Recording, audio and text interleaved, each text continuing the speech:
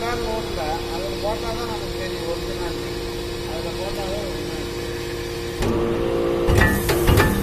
ஓ கீழே வந்து சொல்லலாம்